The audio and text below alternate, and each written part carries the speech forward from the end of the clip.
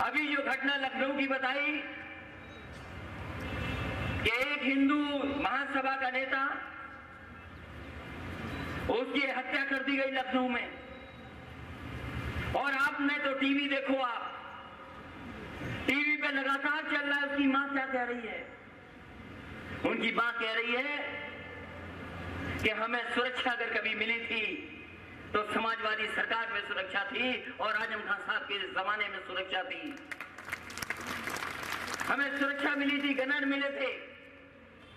लेकिन इस योगी सरकार ने हमें सुरक्षा नहीं दी और उसी का परिणाम है कि हमारे बेटे की हत्या हो गई।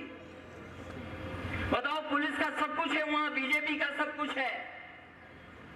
चौकी से लेकर के ऊपर तक सब कुछ बीजेपी के हैं। सरकार उनकी है।